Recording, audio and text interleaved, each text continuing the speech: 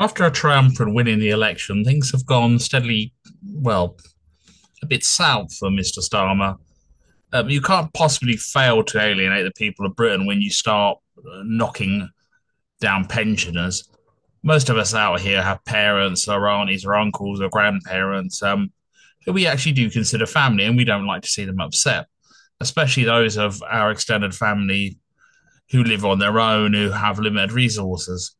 Um, uh, stunningly, if if a small country like Ireland, where my family come from originally, can afford to pay better fuel payments than a supposedly rich payment country like England, it's quite interesting. But in any case, today brought even more trouble for Keir Starmer in the form of Diane Abbott. And I'm going to share her speaking about how she felt she was treated by the Labour Party. She's long been at odds with Keir, but like this is interesting.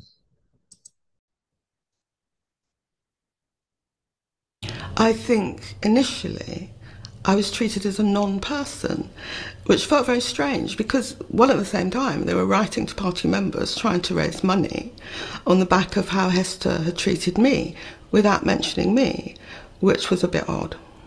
And when you say non person, I mean, what, what, what do you mean by that? Well, you'd feel that if somebody was threatening to have you shot, you would have felt that your party would have offered you more support, given you advice on safety and security, even kind of commiserated with you, and none of that happened. And are you saying that the leader, Keir Starmer, treated you as a non person?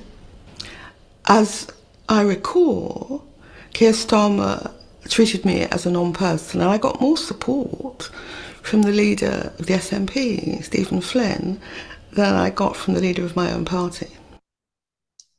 That's not a great look for Keir Starmer. Now, uh, Diane is, of course, referring back to the letter she wrote where it was considered anti Semitic. Um, I, I, personally felt there was a massive overreaction to that letter, to be quite frank.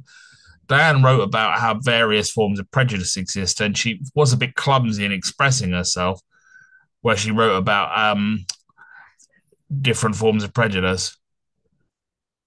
But nevertheless, I felt the whole thing became an overreaction and a witch hunt to sort of try and get rid of this level of anti Semitism that, well, there's the valid criticism of Israel is not always anti Semitism. And I felt at times there was becoming mixed up and it was becoming something of a witch hunt. Keir Starmer is not going to look good when the longest serving black female MP in the country's history and the first black female MP, if I remember, feels she was treated like a non person like this. On the same day as that, Keir Starmer also has the potential of numerous MPs possibly leaving the party or being suspended for not toeing the party line. Uh, from a standpoint of date where you know after just after the election, massive majority, he's slowly eroding himself by his charmless lack of charisma and his inability to sort of show empathy. Now, I'm not tied to any political party so much that I'd hero worship anyone. And although I'm left wing, I don't have a huge amount of time for Starmer. I find him sort of um, a cold fish, to say the least and like a slightly robotic and slightly in love with himself. He gives off that vibe of being a slight, slightly unable to break from his own doctrinaire positions that he's established and realize perhaps they have limitations. I'm going to wait and see how this develops with Diane Abbott and him. It doesn't look like a, a lovely situation because although people mock Diane Abbott and people do stupid jokes about Diane Abacus and that, I suspect um, on this occasion, people may actually be more supportive of her than Keir Starmer.